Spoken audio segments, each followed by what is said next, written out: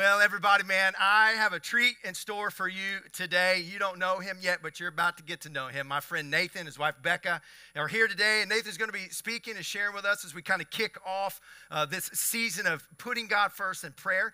And Nathan and I, when you say about relationships, when you say we go way back, like that's very true for us. So we go way back to uh, the early 2000s, and we were in a discipleship program together back in the day.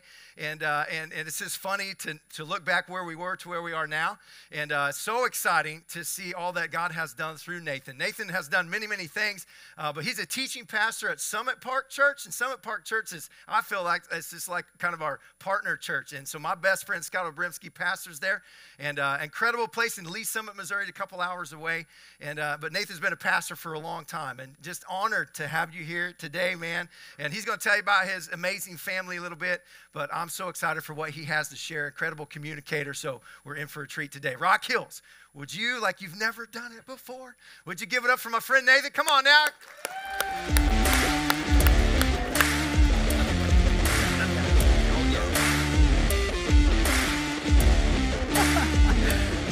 We we talked about him giving me a holy kiss, you know, as we were exchanging there, but we didn't want to embarrass you guys, of course. So, hey, how are you guys doing? Good, good. Hey, want to first start off and welcome all those that are watching online as well as those that are deployed in our military. Thank you so much for all that you do. Would all of you put your hands together for all those that are watching online? So glad that you're with us today. Hey, and I, I do want to say a big thank you to Troy and Lacey just for um, their example of faith. I've been able to watch from a distance, but we've kept relationship, talked to several times over the years, and it's just been fun to see how God has used you guys and used your leadership, your faithfulness, your example. And man, you're the real deal. Like behind the scenes, you're just laughing all the time, having fun, genuine. And anybody that knows you uh, behind the scenes knows that about you. What you are on stage is what you are behind the scenes. So we just thank you so much much, and all that God is doing through you is truly amazing. Would all of you, would you show your appreciation to Pastor Troy and Lacey? Super cool. Hey, I want to introduce you to my family. So I think we've got a picture that we could show you here. So throw up a picture there. So there's my family. Uh, my wife Becca's here with us, and then our two children. Ella's there on the right. She's 12 years old, and then Mac there on the left. He's 10 years old. So, love my family. They're awesome and amazing, and uh, they make me better and are way more than I ever deserve. So, I'm so thankful for, for them. Um, well, hey, let's, uh, let's jump into today's message. Today's message is titled, uh, This Time is Different. This Time is Different. So, it was several years ago that uh, this happened. Um, I don't know if you've ever had a car like this to where uh, it burns oil. Okay, anybody got a car like that? You've had a car that burns oil. Okay, so I had a car that burned oil, and uh, Jiffy Lube at the time had a deal to where if you got your oil change there, in between oil changes, you could get it topped off. I was like, this is gonna be great. I'm gonna make them go bankrupt with my car. Like this, I'm gonna get this thing topped off all the time. So I was I was driving my car. I was like, you know what? I think it needs topped off. So I decided to stop by Jiffy Lube. I pull in, stay in the car, and I pull in. They pop the hood. Technician looks under the hood and then comes around and says, um, Excuse me, sir, have you seen what's under your hood? And I said, No. He said, Come here. So I walk around and I, I, look under the hood, and there's a big pile of leaves by the serpentine belt, like on the top. They're big pile of leaves. They start pulling back the, the leaves, and there's little baby squirrels inside of there, just just living. Okay, so they they took care of the squirrels, they took care of the leaves, all that stuff. So the guy all cleaned up, top off my oil. Well, then uh, about a month later, Becca was going to be out and she was going to be doing some stuff. So I said, hey, babe, would you just stop by Jiffy Lube? It's real simple. Just pull in, tell me you need the, the oil topped off, and uh, they'll know what to do. So she pulls in, and, and they pop the hood. The tech looks underneath the hood. Tech comes around and says, uh, ma'am, have you seen what's underneath your hood? I said, no, I, I haven't. She said, come here. And so she walks around, and another pile of leaves right there at the serpentine belt. Well, this time they didn't have any squirrels in it, so they get it all cleaned up. Well, the manager comes out and says, Man, you're not going to believe this, but about a month ago, your dad came by with the exact same problem. Okay, so here's the thing. My wife, for some reason, isn't aging like she should. I'm like, she has these like creams and potions and stuff. Like, no, no, no. You need to draw wrinkles on your face, babe. Like, I'm aging like a normal person, but no, she is my wife, and we those are our two children. We brought them into the world. So, anyway, she, it's it's it's pretty funny. Um, what's happened over the years. In fact, one time we were at a, I, I wasn't going to tell this story, but I just thought I would. One time we were at a hotel, we were staying the night, and um, our kids were a little bit littler, and we were at the continental breakfast. Babe, I didn't say I was going to tell this story. I'm so sorry. I probably, okay. So I'm going to tell it to you. So we were we were having our continental breakfast, and I went up to get my toast or something, and she's sitting at a table, and there's an older lady sitting at another table next to her, leans over and says, "Hey, let me know if you need help, okay?" I'm not even kidding. So, anyway, yeah, we've had some interesting stories over the years. So, but hey, let's jump into today's uh, message. You know what's uh, interesting? If if you want this year, 2023, we're at the beginning of the year. If you want that to be different, it's not something that we could just hope for or just want. There's something that we have to do different. You know, I was leaving the car that had the, the squirrels making their little habitat underneath the hood. I kept dri- uh, parking in our driveway. I wasn't putting it in our garage because our garage was full of stuff. Well, I should have cleaned out my garage, pulled it into the garage, and the squirrels wouldn't have got in there. But I kept doing the same thing, and I kept getting the same result. And so today I want to answer two questions. All right, here's the first one Can 2023 be the best year yet? Can it be different than all the other years you've experienced? And the answer to that question, I believe, is yes. And here's the second question Well, how is that possible? How could 2023 be different this time? Maybe 2022 was tough for you. Maybe it was a good year. But here's what I believe that the best is yet to come, that God has more for you that He wants to do and accomplish in your life. But in order for that to happen, He expects something of us, that we have to do something different. And so, what I want to, to do today is I want to look at Psalm 27. Because I believe that Psalm 27 is a great outline and example for us of how we can do life. And as we do that, then God responds to us. Okay, so Psalm 27, if you got your Bibles, you can turn there. But I'll give you a little bit of context of what Psalm 27 is all about. So, this is a psalm of David. He wrote many of the psalms. And David was a guy who was the second king of Israel. The first king was King Saul. And uh, David had become a part of the military when King Saul was the king. And in fact, David was very successful.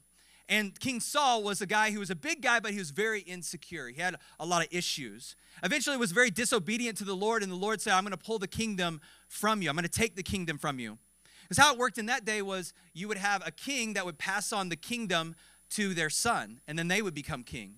But God said, That's not going to happen anymore. I'm going to give the kingdom to somebody else. Well, at that time, David was being very successful. So Saul started to put two and two together that maybe David was going to be king. He perhaps even heard about the prophecy that Samuel had anointed David as the next king. And so King Saul was very insecure and eventually was trying to kill David. It's one of the, the big stories in the Old Testament. And so Saul is chasing after David. David, who was fighting in Israel's army, fighting the battles, winning victories for Israel, for King Saul, now is eventually running from the own, his own army that he served in. And so King Saul is after him. And so many scholars believe that, that Psalm 27 is David's response, is him in the midst of running from King Saul. So, this first one I want to cover, I want to cover four things today that will help you make 2023 different, okay? So, this first one that we're going to talk about is fear. So, I want, to, I want you to think about this thought. Not knowing how to deal with fear, our fear will rob us of God's blessing, peace, and growth opportunities in 2023. Not knowing how to deal with our fear will rob us of God's blessing, peace, and growth opportunities in 2023. But for this time to be different, we have to deal with our fears. So that's the first one is deal with our fears. Deal with our fears. Okay, so Psalm 27, here's what it says in verse verse 1. This is David talking. He says this. The Lord is my light and my salvation. Whom shall I fear? The Lord is the stronghold of my life. Of whom shall I be afraid? Look what David does right at the beginning here he declares who God is to him. He says, You're my light, God. You're my salvation. You're the stronghold of my life. Whom shall I be afraid? Let me ask you by a show of hands in here how many have ever been afraid? Been afraid? Okay, if you didn't raise your hand, you were probably afraid to raise your hand. So all of us technically have been afraid. Okay, at this point. So we've all been afraid. There was one time in my life when I was afraid. Okay, there was one time when I was afraid. And, um, you know, I'm just going to kind of speak up for the men here, all right, just for, for a second. Now, I know, I'm sure uh, labor is very difficult for women, but I just want you to know it's difficult for men too, okay? Okay, so we got two kids. Our first one, Ella, I had never experienced this before, okay? My, my wife decided she's not gonna take any pain meds, she's not gonna do an epidural or anything. And so here she's going through these like contraction things. I didn't know what was going on. I was like, my wife is gonna die. Like, look at her, she's gonna die, and then everything would be okay. And I was like, no, she's gonna die again. She's gonna die again. It just kept happening over and over. Eventually, I was like, give me the epidural. Just put it right there in my neck. I need it. Very scary, people. It was very scary. Do any of the ladies have sympathy? No, you don't. You don't. Okay. Neither does my wife. You know, neither does my wife. She's like, shut up.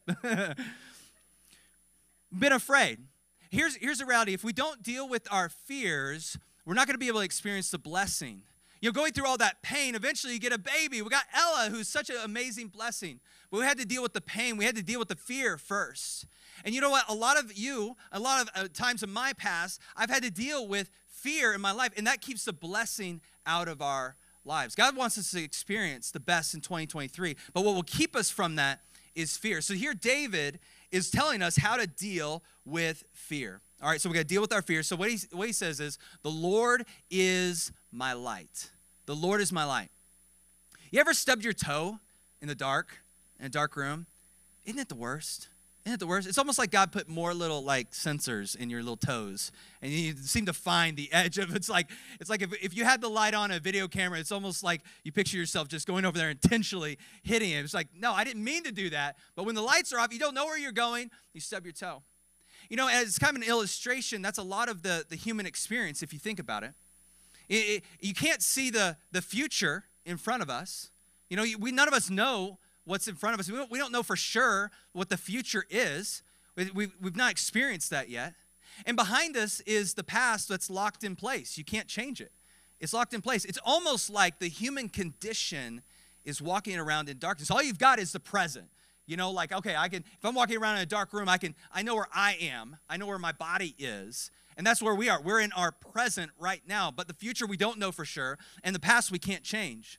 And what David is looking at his life and he's saying, you know what? I don't know the future. I'm running here from my former boss, or my boss, you could say.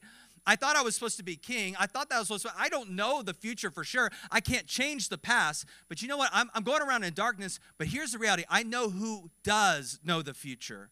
And I do know the one that though this has happened in the past, he can change my future as if it didn't even happen. It's like he's saying, God, you're my light. You're the one that can light up this room for me, and you can help me to know where to go. I mean, imagine if every time in 2023 you said, you know, I don't know the future. I don't know what's going to happen, but I know the one who does. I can trust in him. I can hope in him. And you know what? God is going to be my light. All of a sudden, your fears, they start to dissipate. You know, I don't have to be afraid of what's going to happen tomorrow. Even though I can't see it, I know the Lord sees it. He's my light. And if He wants to illuminate something, then He can show me. So David declares, He is my light. And that was his antidote for fear. Here's another thing that, that David does He says, The Lord is my salvation. The Lord is my salvation. You know, David was a, a, an amazing warrior. He had been trained, he had lots of victories, he had won lots of battles. Like he knew how to use a sword, he knew how to fight, he knew how to win. But yet, I believe this you see this in David that he was humble. He, he believed this principle that would later be written by his own son, Solomon, in Proverbs 21 21 31 says this the Lord is, or the, the horse is made ready for the day of battle, but victory rests with the Lord. You know, David doesn't say he's his salvation. He says, The Lord is my salvation. The Lord is my rescuer. The Lord is the one that's going to help me. Though I've got all these skills, yes, that's all great and all, but you know what? God is the one who rescues me. You know, as we look into 2023, it's really important that we make sure that our rescuer isn't something else besides the Lord. That the Lord ultimately is our salvation. Like he's the one that's going to rescue us. You know, because we can look to other things to rescue us, right? We could look to money to be our rescuer. Money's a terrible rescuer. There's never enough. It always seems to fly away. You know, we could look at our, our clever plans you know, could be our rescuer. We're going to look to ourselves, our own talent, our own ability. We could look to another person. You know, some of us, I don't want you to elbow or point to anybody, but your mouth is a bit of a rescuer. You could talk your way out of anything. You know anybody like that? Don't look at them, okay? Don't if they're seated right next to you. That's your rescuer. You look to that to rescue. But you know what? God should be our rescuer. He's our salvation. He's the one we put our hope in. He's the one we look to. And David is saying, you know what? I've got these skills. I got this ability. I've got the sword. I got all this armor. I got all this stuff. And I might be a great warrior. But you know what? God is the one who gives me the victory. He's my salvation. When I'm up against something challenging, you know who I'm going to look to? I'm not going to be afraid because if I trust in my sword, then I'm going to be, I should be af- afraid. I'm going to make the horse ready for the day of battle. But you know what? I believe that Jesus is my rescuer. He's the one that's going to give me the victory. That's what we have to remember as we go into 2023. That's how we deal with our fears. And this is last one here. The Lord is my stronghold. The Lord is my stronghold. You know, back in that day, um, when they built cities and towns and stuff, they would build big walls around it because you'd have an invading army could come in and just wipe out people. And so they to give them time to prepare and to discourage other armies just from coming in and, and wiping people out, they build these large walls. And it's like David is saying that about God. This stronghold, or another translation says fortress. It's like this place where, where there's, there's these walls where you could be inside the city, the town, and you could do your business. You could do whatever you need to do. You could go about your day. You can live your life and make decisions, but you can know that there's protection on the front, behind, and on the sides. And you know, whatever you make God your stronghold, you know, you can make decisions. You could do life. In 2023, you can walk about the cabin, so to speak. You can know that God is with you and is going to help you, and you don't have to be captivated by fear. You know, with a, this many people here, I bet there's some people in here today that you're just you just walk around with fear. There's just this constant feeling of fear, almost like there's no walls around where you live, so to speak that there's no walls around your soul, and God wants to be your fortress. God wants to be your stronghold. God wants to help you and to know that you are secure. You can make decisions. You do not have to be afraid. So David, what he does is he he says that, Lord, you're my light. Okay, you can guide me and direct me. Lord, you're my salvation, you're my rescuer, and Lord, you're my stronghold. Just I can do whatever I need to do. I can trust in you. And then this is what he, he says. There's two rhetorical questions in that verse 1. He says, Whom shall I fear? Of whom shall I be afraid? What if in 2023 you could say that about your life? Say, What do I have to be afraid of? I don't have to be scared. I have to be worried. You know, when you do that, you open up God's blessing to your life.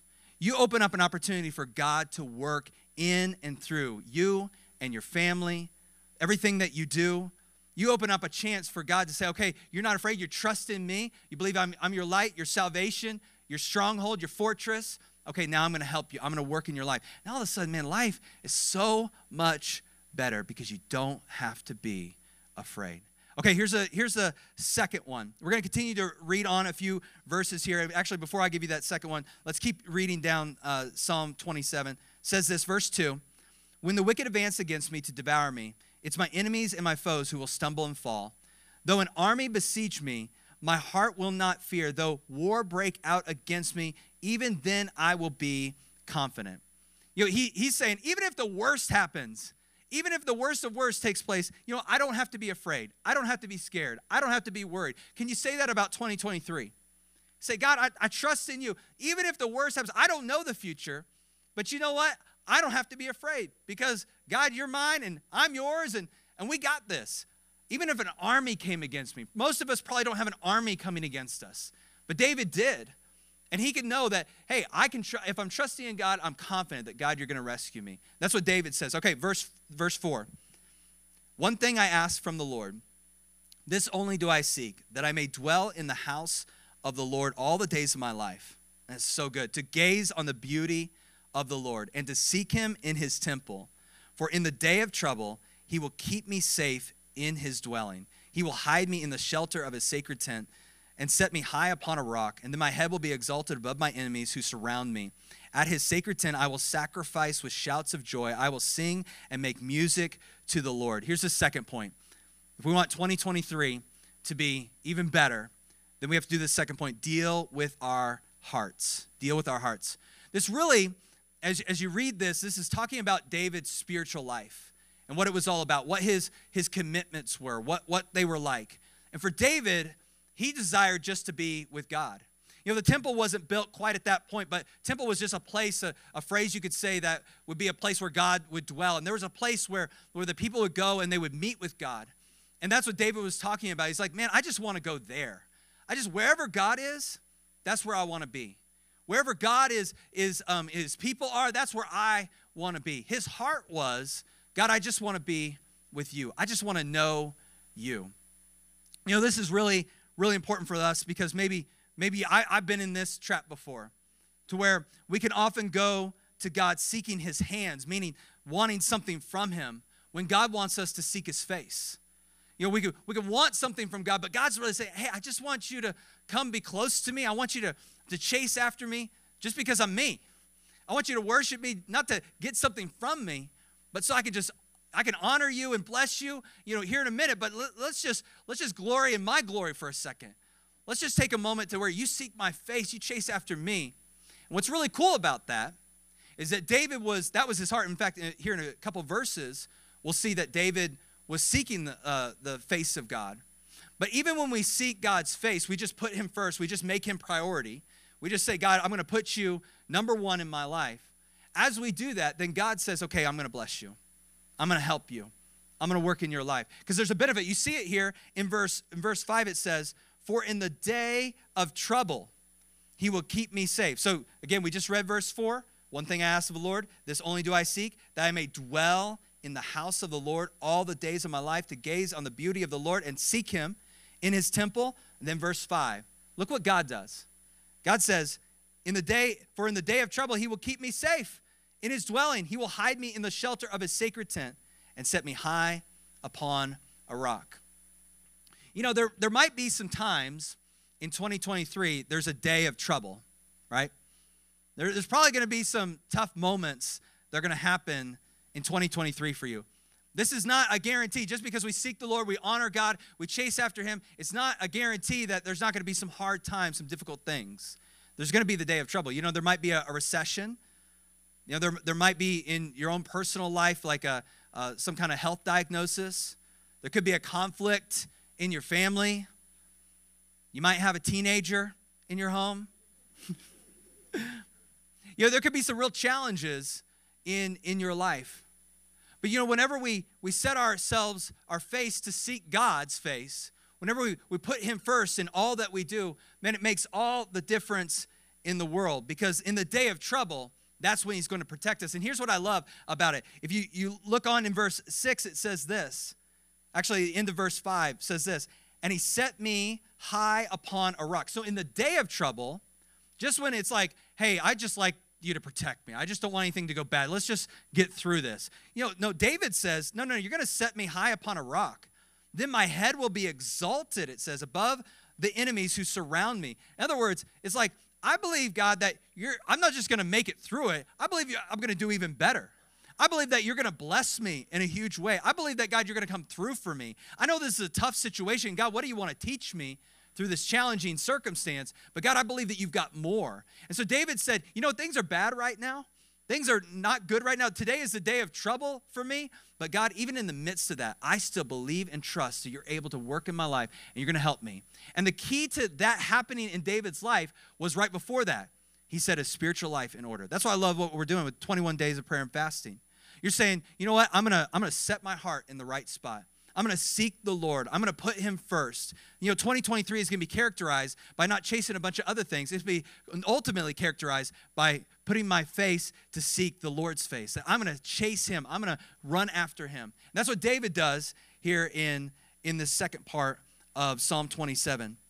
So then it says verse 7 says Hear my voice then when I call, Lord. Be merciful to me and answer me. Here's that, that verse about seeking his face. My heart says of you, seek his face. Your face, Lord, I will seek. Do not hide your face from me. Do not turn your servant away in anger. You have been my helper. Do not reject me or forsake me, God my Savior. Here's the third one deal with our prayer life. Deal with our prayer life. here's where David's starting to get really like vulnerable and real because he he started out the psalm, the prayer, by saying like, "Lord, you're my light, you're my salvation, you're my fortress." But now he's kind of like getting a little more vulnerable, like, "God, don't forsake me." Like you see all the do nots in here. You know, be merciful to me and answer me. Do not hide your face from me. Do not turn your servant away in anger. Do not reject or forsake me. Obviously, here David is, is dealing with a little bit of concern about being rejected. You know, eh, you ever done this in, in your prayer time? To where you're, you're like, God, I trust in you, I believe in you. And then you start to think about your circumstances, like, oh God, I'm scared. I'm worried. I'm concerned. God, I, I'm afraid. You know, I think that's actually really powerful in prayer. You know, think of it like this like um, uh, if you were sawing down a, a tree. I don't know if you guys saw down trees much here in Kansas. We don't in Kansas City either. Okay, so, um, but imagine sawing down a tree and it's a large tree, you know, and, and you had a big saw, and you had one uh, person on each side, and you're going back and forth to chop, chop down the tree. You could think of what David is doing is saying, when he's going one way, he's saying, Lord, you know, you're my light. I trust in you. I believe you're going to guide my steps. But then he pulls it back this way and he's like, But I'm really scared. Are you really going to help me? like, I'm really worried here. He says, No, no, no, no. But, but God is, you're my salvation. You're my rescuer.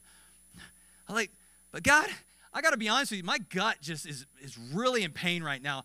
I am terrified right now. You're, are you really going to rescue me? I mean, I'm getting attacked left and right. But you know what? I'm going to, I know that God, you're my fortress. I believe you're my fortress. God, I, I just pray, don't leave me, don't forsake me in the midst of this. I, I believe that you've got good plans for me. Lord, I just look out right now and things are not good right now. I believe that you're going to give me victory, Lord. And you go back and forth, back and forth. You know what you're doing? You're chopping down the enemy's plans in your life. You're, you're bringing those, you're saying, God, I trust in you, and you're encouraging your faith because every time you say, God, you're my light, you declare the truth that you believe, you're encouraging your faith, but then you're also being genuine and saying, God, I need your help. You're presenting your request. That's what we need to do this year. What if you did that in your prayer life this year?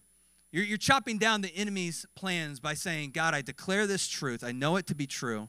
But God, I'm going to be honest and open with you and vulnerable. I'm terrified right now. And God is pleased with that kind of prayer. In fact, I want to give you a few more verses on prayer. We'll go through these quickly. But Philippians 4 6 and 7 says, Don't worry about anything. Instead, pray about everything.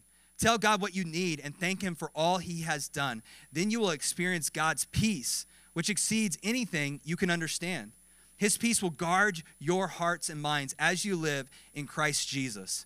You maybe you've heard that verse before, but notice it doesn't actually say that God's going to answer your prayer, at least in this specific text. I believe God's going to answer your prayer, but it just says that you're going to experience God's peace.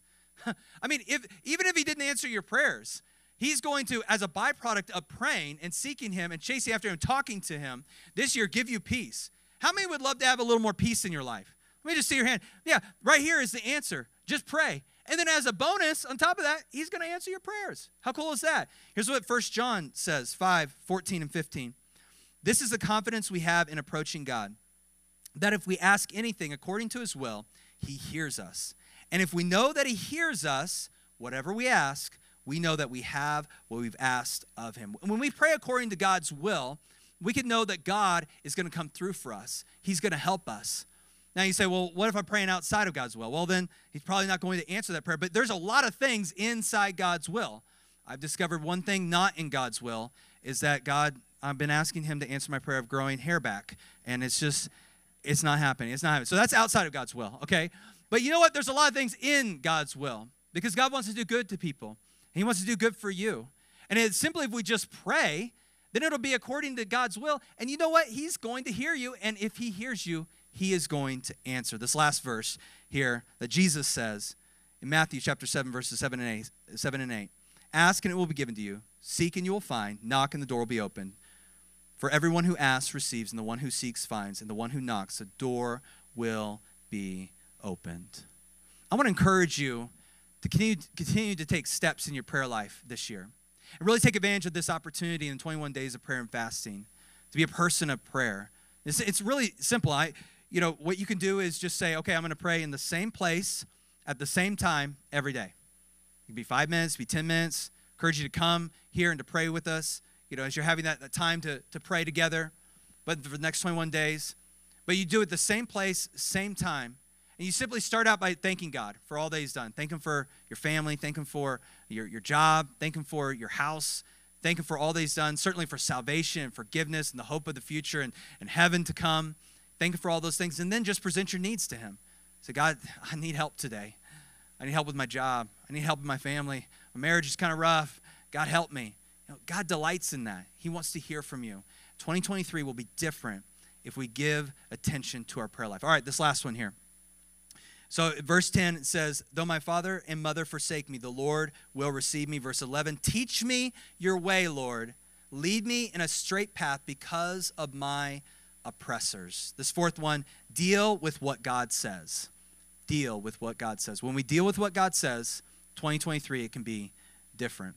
You know, the first problem that ever came onto the scene was back in the Garden of Eden when, when the serpent started questioning God or at least made Adam and Eve question God, question what he said. You know, and that can happen to us too. You know, because Adam and Eve, they knew exactly what they were. It wasn't like there was a question. It wasn't like they were just trying to discover and they were on a journey or whatever. Like God clearly said, don't eat of that tree. they knew they weren't supposed to eat of that tree. And then the, the serpent says, Did God really say? Isn't that what can happen to us when we get away from the, the Word of God? when we get away from church, when we get away from hearing the preaching of, of the Word of God, when we get away from the people of God, we get away from listening to the Holy Spirit speak to us, when we get away from what God says, all of a sudden that starts impacting what we think. Well, did God really say that? God really mean that? God really talk about that? And that impacts our decisions. And now we're making bad choices, poor choices. You know, this, this happens um, all the time because because here's why this is important. I love how it puts it, how David puts it in verse 11. Teach me your way, Lord. Lead me in a straight path because of my oppressors. You know, there's some oppressors out there that want to ruin your relationship with God.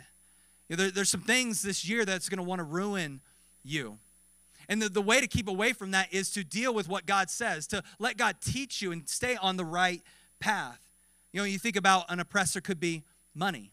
You know, Jesus said this in Matthew 6 24 you cannot serve God and be enslaved to money. You know, that's why I think is so important about, about giving. You know, as, as we're generous, it's dealing with the greed in our hearts. It's saying, God, okay, I don't want that to be my rescuer. I don't want that to be the thing I rely on. I don't want that. God, you're my, you're my provider. And so I trust in you. So I'm giving this, I'm giving this out. You know, because money could become an oppressor. It could be something that will captivate you. It'll be something that will take you bondage. And let me tell you, money is a terrible master. God is an amazing master. He's an amazing Lord, but money can never be that. That's why you can't serve God and money. Something else that's a terrible oppressor is lust. You know, things in our life that we, you know, looking at things we shouldn't look at. So I, that's why the Word of God says in Proverbs 5:15, drink water from your own cistern, running water from your own well. Okay, all the married people, you know what it's saying there? Okay, I think you know what it's saying there. You say, man, but my husband's got a dad bod. Yeah, but it's all yours. Okay, it's all, all every part of it. Okay. When we get away from the Word of God, we, we start we start to justify things. We start questioning God. But if you've been reading that in your devotions that morning, you're like, uh-uh, no, not looking at that, not doing that. I'm gonna stay faithful. I'm to do the right thing because it's fresh, fresh on your mind. That's why we got to be in the Word of God every single day. You know, maybe it's a uh, being a workaholic. That's why Proverbs 23 4 says, Don't wear yourself out trying to get rich. It's good to have a good work ethic, but there's a point when you to say, It's enough. I need to be with my family. I've got other priorities. I've got to, I've got to seek the Lord. I've got to run after him. I'll be fine. I, I trust him as my provider. That's the power of the word of God because it keeps you on a straight path. Because all these oppressors in 2023 are going to be grabbing at you. But you can say, No, no, no, I've been in the word. I'm to I'm to stay on this straight path right here. I'm to let God teach me. That's the power of being free in 2023. When we deal with what God says, now this year can be different. We can experience God, God's goodness as you're in the Word of God. That's why I love also that you're going through the Bible in a year. That's so cool being able to do that. Man, we did that at Summit Park last year, and we're doing it again this year. It's just so powerful. Every day, a routine of just saying, I'm going to get into the Word of God. I'm going to learn. I'm going to hear what He has to say.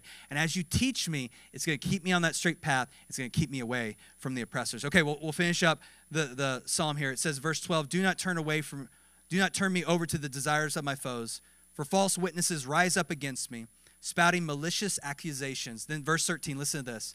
I remain confident of this. I will see the goodness of the Lord in the land of the living. Isn't that so good? Verse 13. I'm confident of this.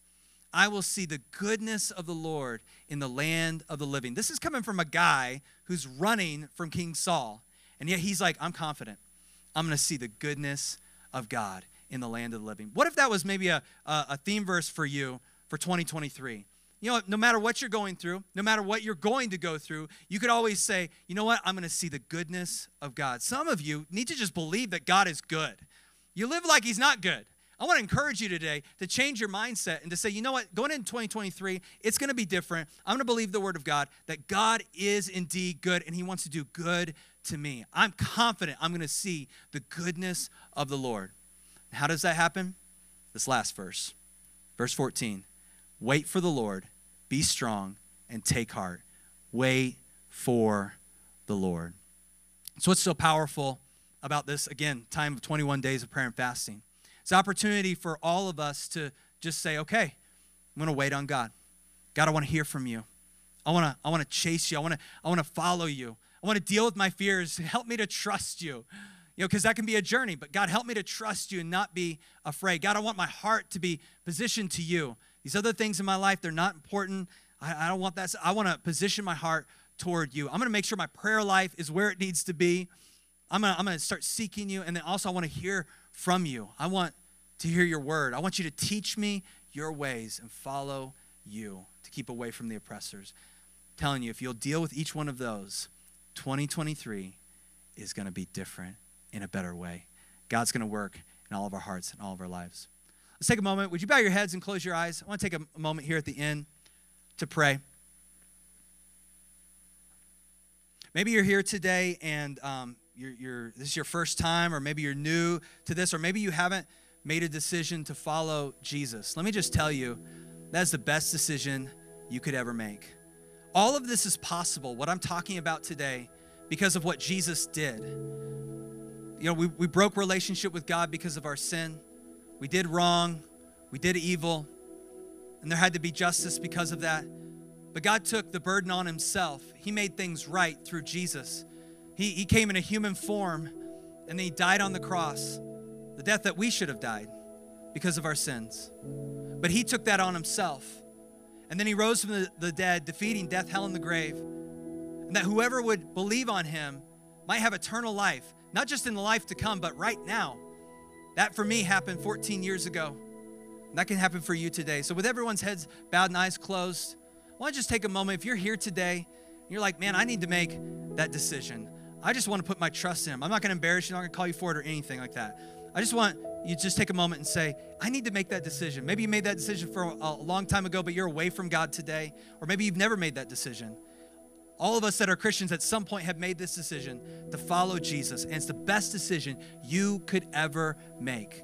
God will forgive your sins, give you a new life, new start. He'll transform everything. For me, it was when I was 14 years old, and I've never been the same since. I'm never looking back. God will work in your life, but it all starts with that decision. So if you'd like to make that decision today, just with everyone's heads bowed, eyes closed, would you just slip up your hand long enough for me to see it? And then you could put it down. Just slip it up. I'd love to say a prayer with you here at the end of our time. All, all those watching online, you take a moment to slip up your hand. Let's take all, I would like all of us to do this. Would you all pray this with me? So just repeat after me. Everyone in this room. Dear Jesus, today I recognize that I'm a sinner in need of you. So today, I put my trust in you. I put my hope in you. I believe that you're the Son of God that died for me. So, Jesus, transform my life, change me, and make me new. I thank you for your goodness. I pray this in Jesus' name. And everybody said a big strong amen. Come on, everybody, put your hands together. Thank the Lord for his goodness. Lord. Thanks, buddy.